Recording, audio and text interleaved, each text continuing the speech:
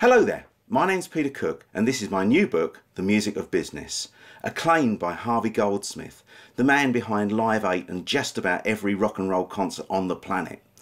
The book is about business, but it uses music to get the points across.